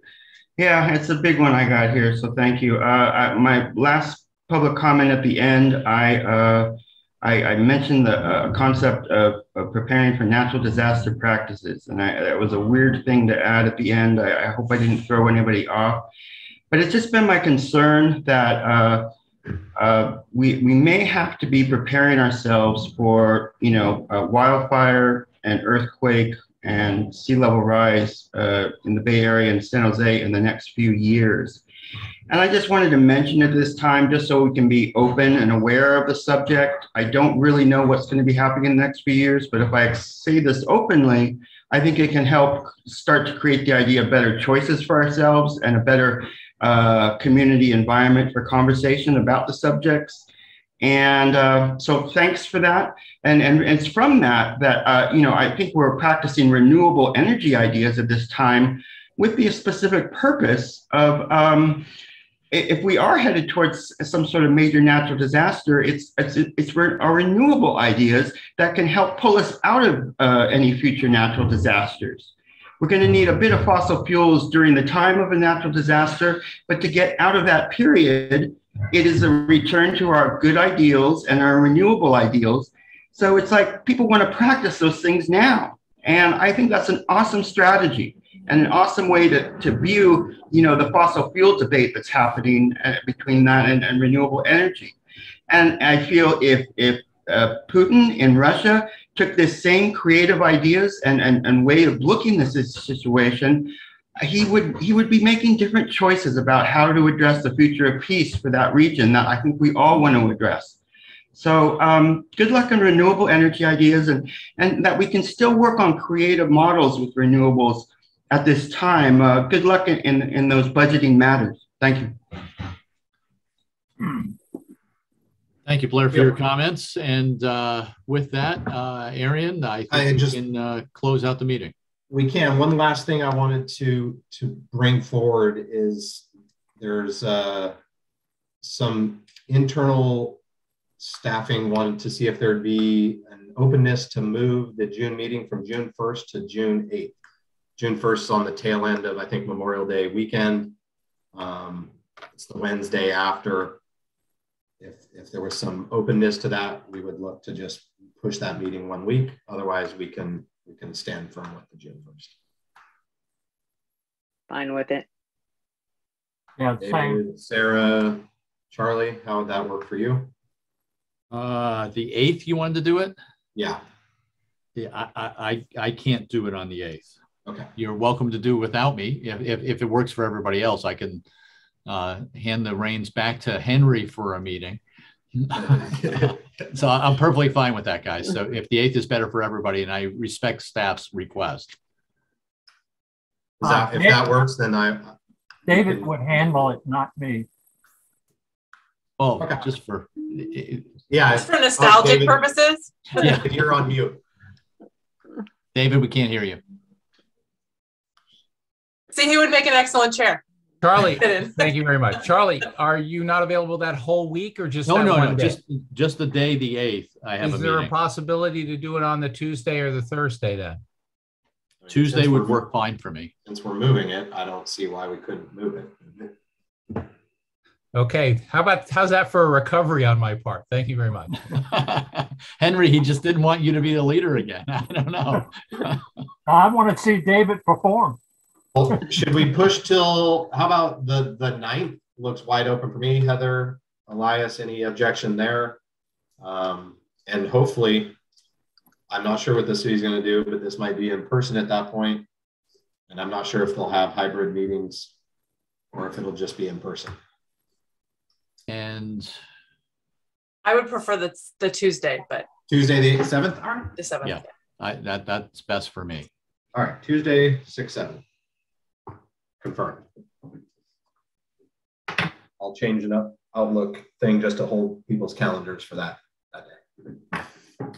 So the next meeting will be June 7th at 10 a.m. Uh, Sarah is not available on 6 7.